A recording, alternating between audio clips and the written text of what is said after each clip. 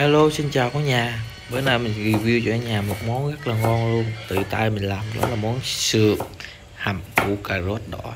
Rất là tuyệt vời. Cả nhà thử xem mình thử ngon không nha.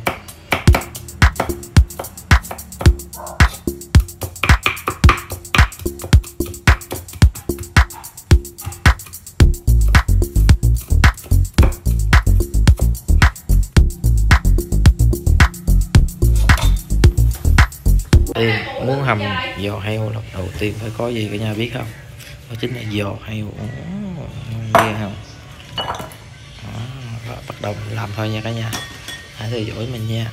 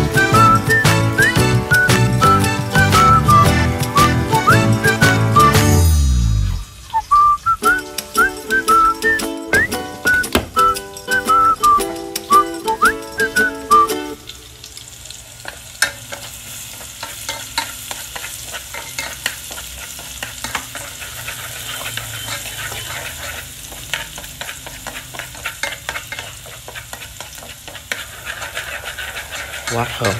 Lắm chả đã. Rồi không biết ngon không đây bắt đầu mình đổ thịt heo thì thôi cả nhà ơi. Gan cho nó, xào cho nó thơm lên một cái. Đó.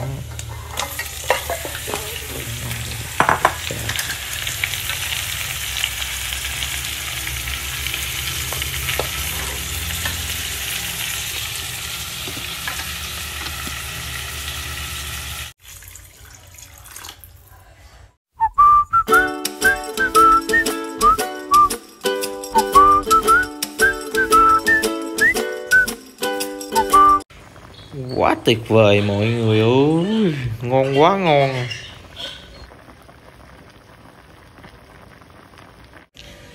Xin chào cả nhà. Mời cả nhà ăn cùng mình nha.